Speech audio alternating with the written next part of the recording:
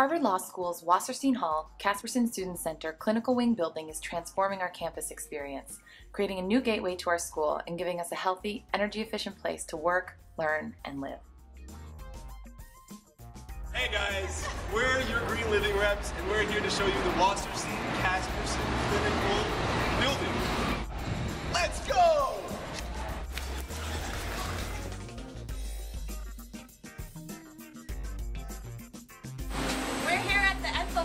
enthalpy. Basically what it does is that it takes the heating and cooling from the air inside the building and uses that to heat or cool the air that it's sucking from outside of the building and puts it into the building so you have fresh air and you don't need to waste energy heating and cooling the air twice.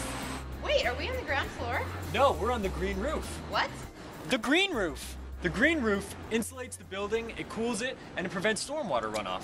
Do you want to go see another green roof? Okay. Wait, this roof looks white. Ah, it is white, but wait, it's also green. A light colored roofing helps reflect the sunlight to keep the building cooler. During construction, they actually use as much recycled construction material as possible.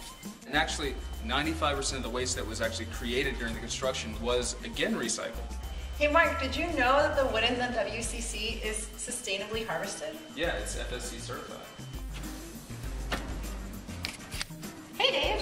Hey Alexa, I can't figure out how this bottled water machine works. Hey, this is a bottled water free zone. You just go like this. Here we are in the offices on the fifth floor, and this one is a conference room for the Harvard Defenders. And we have two things of note. One is an occupancy sensor, and then we got over there a daylight sensor. We're here at a window, but it's not just any window, it's a high performance window.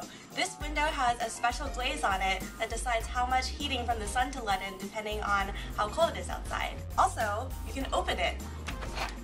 And when you do, the air turns off so that you're not wasting energy. Can you hear that? I don't hear anything. That's right, that's because this room actually has air displacement ventilation, and it's actually much, much more quiet and much, much more efficient than a traditional ventilation system. What it does is it brings up the heat and the cold down from below and circulates it throughout the room. And consequently, there's no cold or hot spots throughout the room, and the entire room is fully ventilated. This is Aircuity. It measures the levels of CO2 in the room. It figures out how much airflow needs to be happening at any time. So this way, when the room is empty, there isn't as much airflow. The WCC is our new healthy, energy efficient space for collaboration and learning on campus. But you don't have to take our word for it. We hope you'll come visit soon.